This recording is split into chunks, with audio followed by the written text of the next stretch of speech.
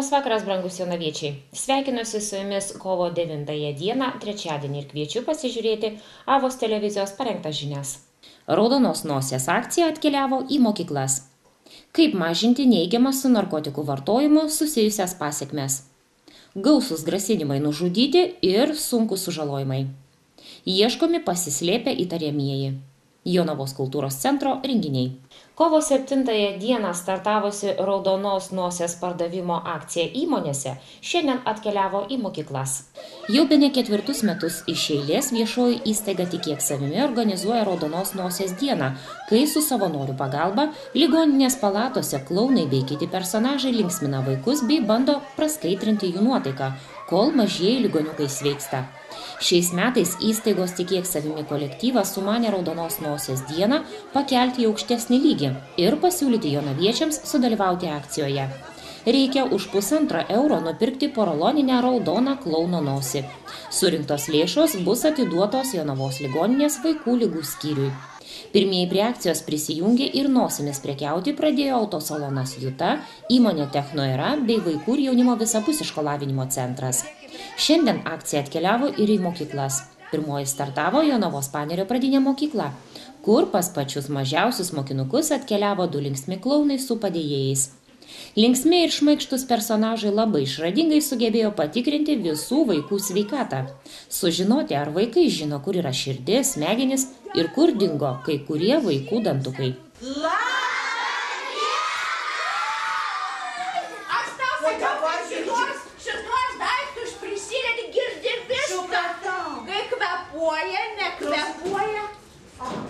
meluoja irgi girdim. A, ne, matom. Bet dabar, žinai, kaip darosi. Pasiemi tuos damus įdedi ir skanuoji va šitaip. Laiko nedaug turime, bet reikia temperatūras biški pamatuoti, nustatyti tą laipsnį. Reikia, reikia. Tai dabar rašolinas, turime kas temperatūrą dėti? Kas nebijo pasmatuoti temperatūrą?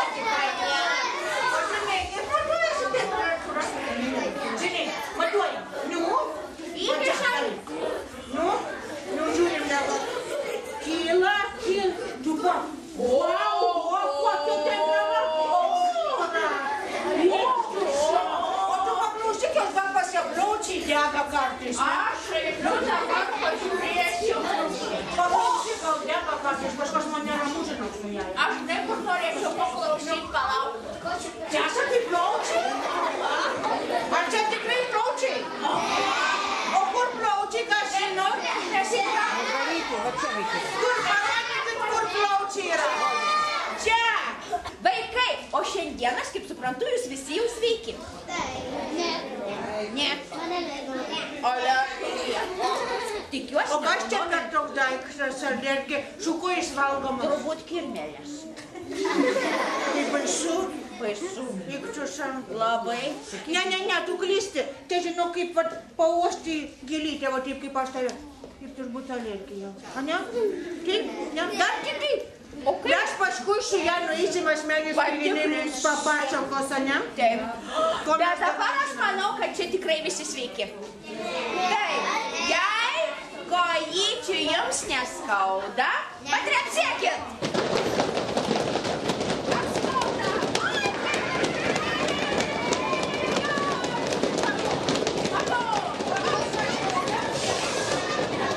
Jei rankyčių jums neskauda, tai paplakit.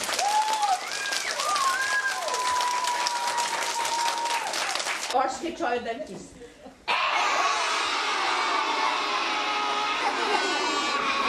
Dantys sveiki, bet kai kurių nėra. Kodėl nėra? Kur padėjote dantukus? Po itin smagios ir nebaisios sveikatos patikrinimo procedūros Jonavos Panerio pradinės mokyklos aktų salėje pasklido raudonos nosys, kurias pirkdami vaikai aukojo lėšas vaikų lygų skyriui. Kaip pasakojo šios mokyklos laikinoji direktorė Dalia Gudonavičienė, mokykla gavo viešosios įstaigos Tikėk savimi kvietimą prisijungti prie raudonos nosies akcijos. Šie mokslo metai paskelbti mokyklos bendruomenės metais, todėl džiugu, kad bendruomenė nebejinga ir mielai sutiko sudalyvauti bei paukoti Jonavos ligoninės vaikų skyriui. Jonavos panerio pradinėje mokykloje mokosi virš 300 ugdytinių. Tai niekada nežinai, kas gali nutikti rytoj. Gali bet kuris susirgti ir patekti į tą pačią ligoninę. Mokyklos administracija dėkoja šios idėjos organizatoriams ir tiki, kad mokyklos bendruomenės paukoti pinigėliai praskaidrins vaikų niures dienas ligoninėje. Mokyklos bendruomenė siunčia sergantiems vaikams didelę puokštę plačių šypsenų, kurios tikrai padės greičiau pasveikti ir sugrįžti į namučius, mokyklas ar darželius pas savo draugus. Iš karto abu du klaunai turbūt nori padėkoti labai šauniems vaikučiams. Labai norim Labai, padėkoti. labai, labai, labiau, labiausiai ir jų kučiam, ir tėveliams, ir mokytėms, ir seneliams, ir mokytams, ir administracijai, ir valytojams, ir būdintiesiems, ir, ir kiems sargiams visiems. Čia kukly. Gerai. Akcijos organizatoriai sako, kad pačiai pradžiai turima tūkstantis vienetų raudonų nosių, bet jų pristigus tikrai atsiras daugiau. Tik tai pirmoji mokykloje radome labai protingus su smegenim žmonių, kurie mums paskui padės paskaičiuoti. O nuo šičių tai daug turime virš tūkstantį čia minutį. O jeigu ką, tai pagaminsim vakare. Padarysim, drošim, drošim, drošim, dažysim. Visiem užteks. Visiems, tik norėkite, tik norėkite padėti, nes čia labai labai svarbus dalykas. Kaip aš sakiau, su mažais darbeliais galima nuveikti didelius darbus. Labai labai. Ir tie darbai tampa nuoširdus ir gražus. Kiek stebiu šitą jūsų akciją, prie jūsų akcijos prisijungia vis daugiau ir daugiau ir daugiau. Smagu. Labai smagu. O mes ką padarysim kitais metais? Nesakysim. Nesakysim. Nesakysim. Na ir žinoma, akcijos organizatoriai dėkoja visiems prisidėjusiems, be kurių organizuoti panašią akciją būtų sudėtinga. Aš pradėsiu dėkoti. Pirmas dalykas noriu labai padėkoti UAB Paralonas, kadangi mes čia turėjom biški problemėlę su Paralonu, tai jie mus pagelbėjo. Žinokite, per parą pagelbėjo. Žinok, stebuklą darėjai. Paskui turime, turime, mm, kaip ten vadinasi, palauk. Jonavos kultūros centro laikinai einantis direktoriaus Labai pareigas. daug prisimeni žodžių.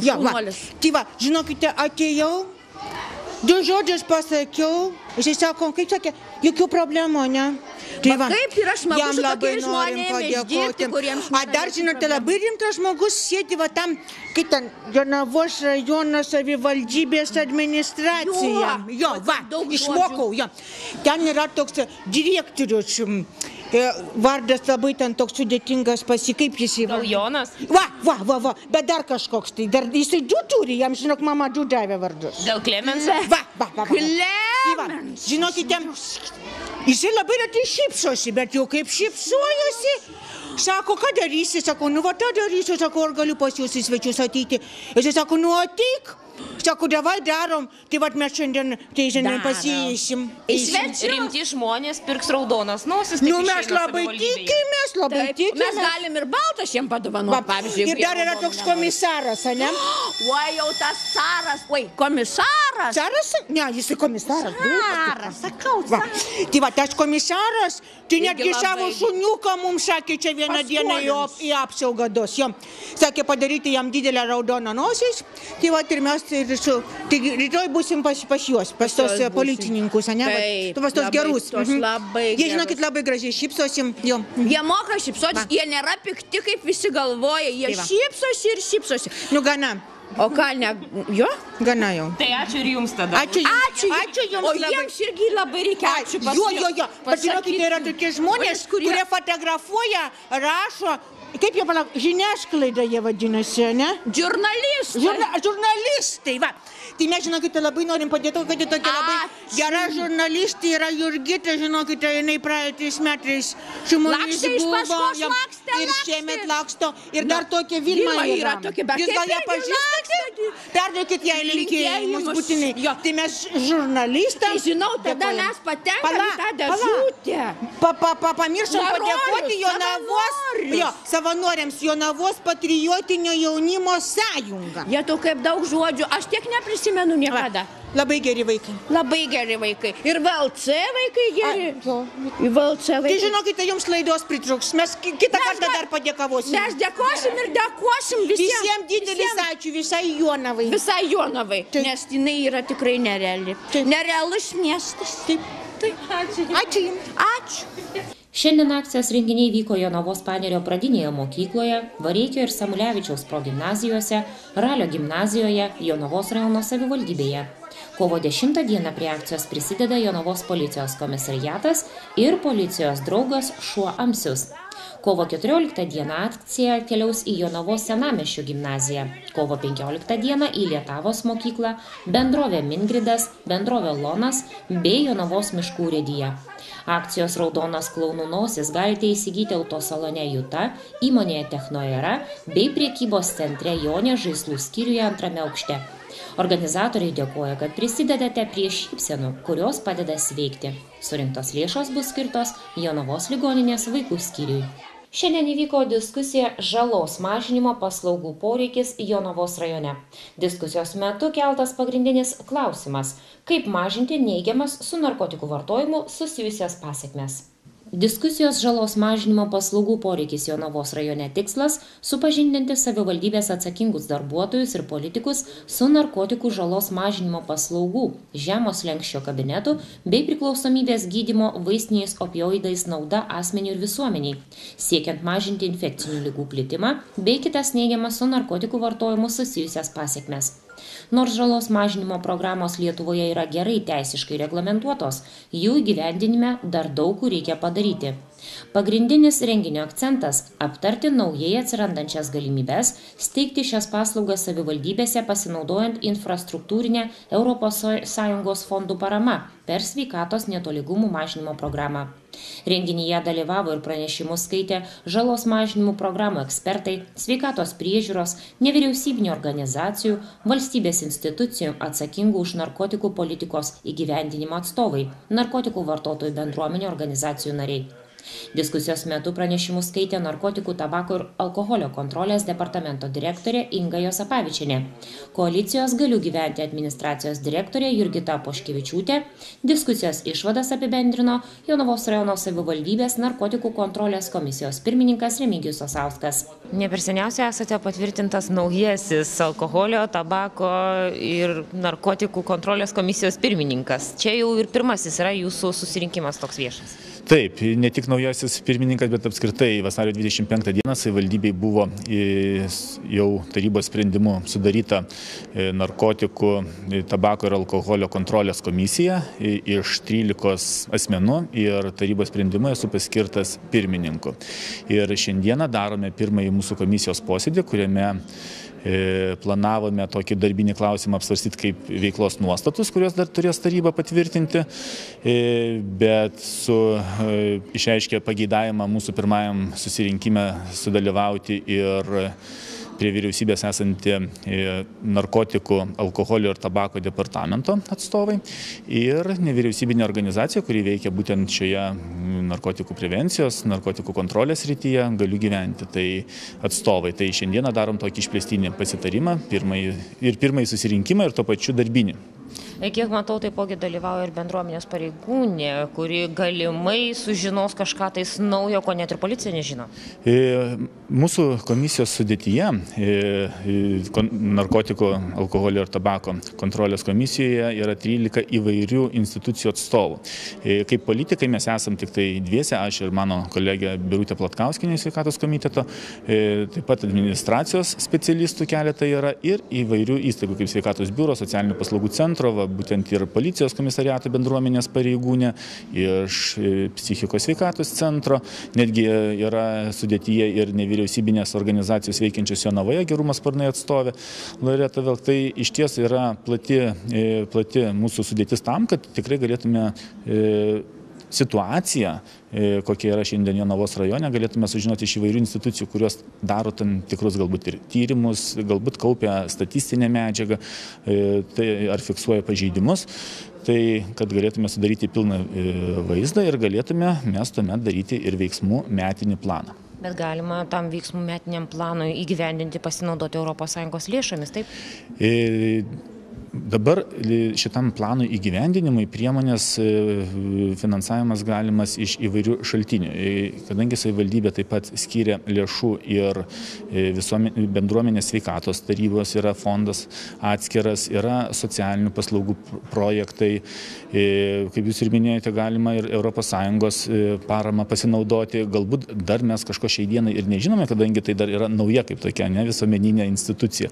Bet, bet paklausę departamento atstovo e, informacijos, šiek tiek su, būtent su nevyriausybinėm organizacijom, kurios jau turi įdirbį šioje srityje, manau, kad mes finansavimo šaltinio atrasim ir, ir, ir tikiuosi, kad ši komisija jinai bus pakankamai darbinga. Nebus tikrai tokia, kaip sako, kartais popierinė, tik dėl paukščiuko. Tikrai aš tikiuosi, kad mes, mes tą veiklą įsuksim, o kad situacija Jonavoje nėra tokia, kad na, būtume mes ramus, tai tikrai taip nėra, nes jau atliktas pereitais metais tyrimas narkotinių medžiagų pėdsakų ištikimo mokyklose parodė, kad jau ir mokyklose yra e, narkotinių medžiagų pėdsakų, aišku, yra ir jaunimo tarpė, kuris jau nebesimoko, yra jau ilgą laiką vartojančių tiek alkoholį, ne, tiek, tiek, tiek ir narkotikus asmenų, su kuriais irgi reikėtų padirbėti ir, ir na, priemonių įvairių galima surasti ir aš manau netgi šiandieną po šiandienos susirinkimo tokios pirmosios gairės, kur mes galėtume na, tą veiksmų planą kokį sudaryti, tikrai mes jau turėsime. Atkreipiamas dėmesys, kad Lietuva viena pirmųjų Europoje ir pirmoji Sovietų sąjungoje pradėjo įgyvendinti narkotikų žalos mažinimo programas, kaip veiksmingas priemonės gydant priklausomus nuo narkotikų asmenis ir mažinant su sušvirkščiamųjų narkotikų vartojimu susijusias neigiamas ekonominės ir socialinės pasiekmes visuomenėje. Šių programų efektyvumas jau seniai yra mokslo įrodytas, o jų gyvendinimas ir plėtra teigiamai veikia ne tik priklausomų asmenų bei jų šeimos narių gyvenimo kokybę, bet ir prisideda prie priklausomybių politikos bei pačios sveikatos politikos modernizavimo. Nuo kovo 7 iki 9 dienos policija gavo net kelis pranešimus dėl pasikesinimo nužudyti ir dėl sunkaus sveikatos sutrikdymo kovo septintosios dienos popietę jonavos rajono dumsių seniūnijoje pilietė gimusi tūkstantis devyni šimtai šešiasdešimt pirmais metais konflikto metu sumušė sugyventinis gimęs šešiasdešimt septintais metais. Moteris dėl sužalojimo pristatyta į gydymo įstaigą. Vyras pristatytas į jonavos rajono policijos komisariatą. Jam nustatytas lengvas nulio ir šešiasdešimt septynių dešimtųjų promilių girtumas. Jis sulaikytas keturiasdešimt aštuonioms valandoms kovo septintosios naktį namuose jonavoje chemikų gatvėje konflikto metu neblaivi pilietė kuriai nustatytas beveik dviejų su puse promilių girtumas gimimo devyniasdešimt antrų metų nežymiai sužalojo neblaivų vieno ir trisdešimt vieno dešimtųjų promilio girtumo vyrą šešiasdešimt aštuntais metais tą pačią kovo septintosios dieną policija gavo pranešimą dėl grasinimo nužudyti ar sunkiai sutrikdyti žmogaus sveikatą. Pranešta kad pilietis septyniasdešimt antrais metais namuose dumsių seniūnijoje šveicarijos kaime grasino sužaloti peiliu tėvą gimusį keturiasdešimtais metais. Sūnus pristatytas į jonavos policijos komisariatą. Jam nustatytas dviejų ir dvidešimt devynių dešimtųjų promilių girtumas. Jis sulaikytas keturiasdešimt aštuonioms valandoms kovo aštuntąją kosmonautų gatvėje gimęs septyniasdešimt pirmais metais grasino užmušti kartu gyvenančią buvusią žmoną gimusią septyniasdešimt antrais metais. Vyras pristatytas į jonavos policijos komisariatą. Girtumą tikrintis atsisakė. Jis sulaikytas keturiasdešimt aštuonioms valandoms. Kovo devintąją gautas pranešimas kad užusalių seniūnijoje apie dvidešimt trečią valandą trisdešimt minučių konflikto metu neblaivus pilietis gimęs aštuoniasdešimt septintais metais peiliu dūrė į kaklo sritį savo broliui gimusiai aštuoniasdešimtais metais. Vyras dėl sužalojimo išvežtas į gydymo įstaigą. Šiuo metu operuojamas būklė sunki įvykio vietoje sulaikytas brolis pristatytas į jonavos rajono policijos komisariatą. Jam nustatytas vieno ir penkiasdešimt devynių dešimtųjų promilio girtumas.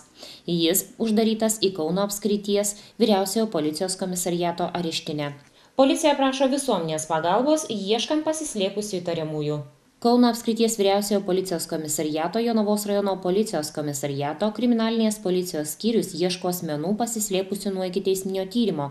Manto možajevo gimusio tūkstantis devyni šimtai devyniasdešimt septintais metais ir dariaus jankevičiaus gimusio tūkstantis devyni šimtai aštuoniasdešimt šeštais metais ką nors žinančius apie minėtų asmenų buvimo vietą prašome pranešti telefonais vienas vienas du arba aštuoni trys keturi devyni septyni du devyni aštuoni du na o dabar domimės kokius renginius mums siūlo jonavos kultūros centras Labas vakaras, gerbiami žiūrovai.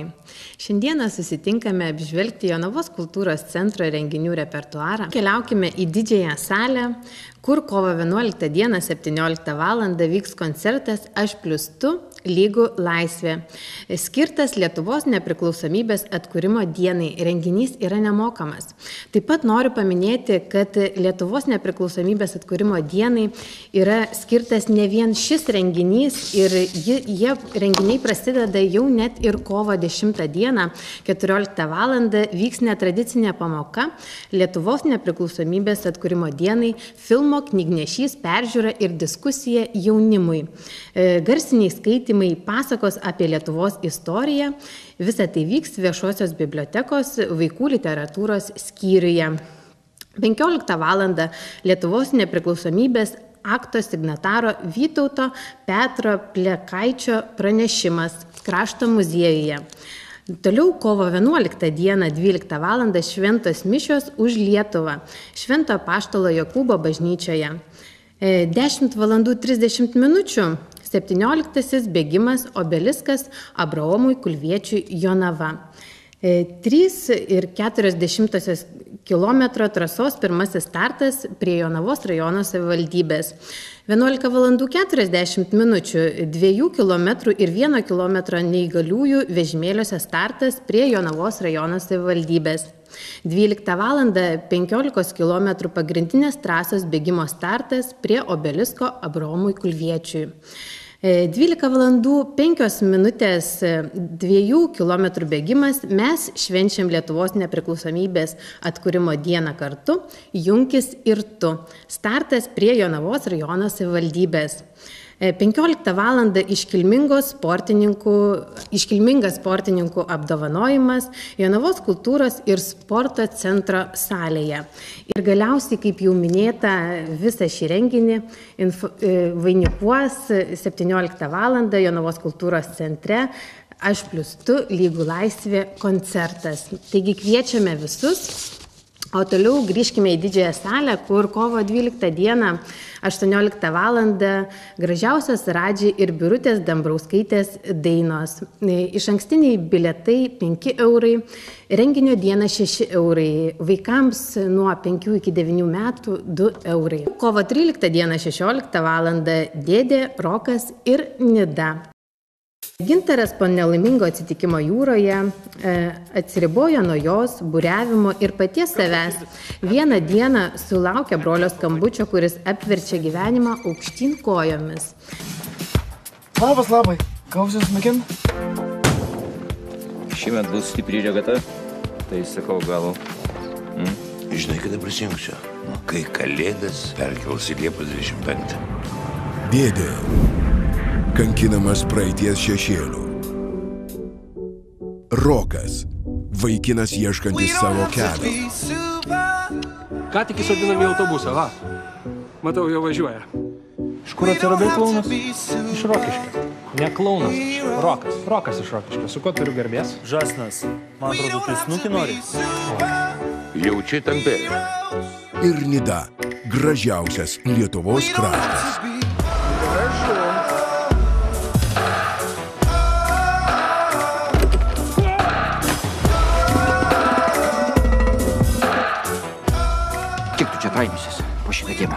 Nešius nuo fotelio ant hamako. Tai kas, sveiki? Bezdėlnikai. Nekišk snapo nei savo reikalus. Prašau Dievą padaryk taip, kad aš dar nemirčiau. Aš pažadu, daugiau nebegersiu. Vienas, vienas, vienas, du, trys, viešpas jumis. Tiek daug nebegersiu.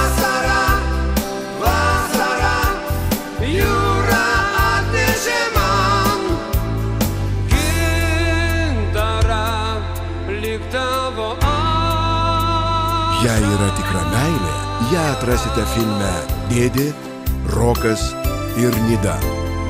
Kur tas mašinų turgus, na? Prie bažnyčias gal?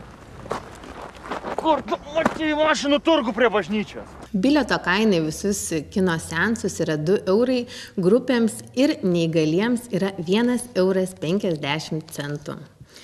Toliau keliaukime į meno galeriją Homaliudens, kur iki kovo 14 dienos eksponuojama Mildos Šležaitės tapybos ir skulptūros darbų paroda. O kovo 10 dieną 17 val. 30 min. filmo apie jonaviečius dalyvavusius atkuriant Lietuvos valstybę pristatymas. Filmas nemokamas, kviečiame visus. Toliau kiti renginiai. Kovo 10 dieną 17 val. mažojoje salėje Lietuvos socialdemokratinio jaunimo sąjungos Jonavos skyriaus renginys. Užusalių kultūros centras kovo 10 dieną 15 val. kviečia į renginį skirtą kovo 11 Dainuojam Lietuvą.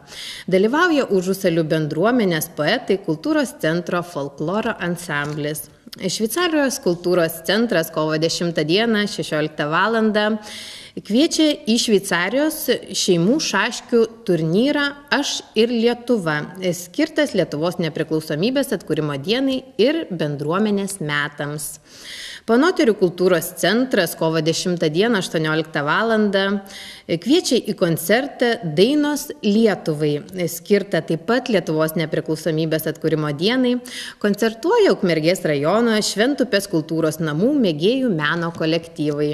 Galiausiai keliaukime į Upninkų kultūros centrą, kur kovo 11 dieną 13 val.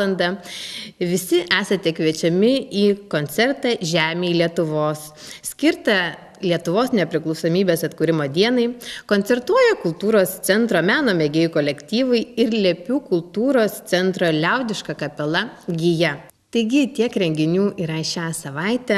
Išsamesnės informacijos apie renginius, bilietų kainas ir laikus galite ieškoti internetinėje Jonavos kultūros centro svetainėje www.jkc.lt. Iki malonių susitikimo ir gražios jums savaitės. Iki. Toliau sinoptikų pranešimai apie ketvirtadienio orus. Ketvirtadienį nedideli krituliai taip pat iškris kai kuriuose rajonuose. Dvelks silpnas vėjas. Naktį temperatūra nenutols nuo nulio. Dieną sugrįž 3-7 laipsnių šiluma. Šiandien su jumis atsisveikinu linkėdama gero likusio vakaro. Pasimatysime rytoj prastu laiku.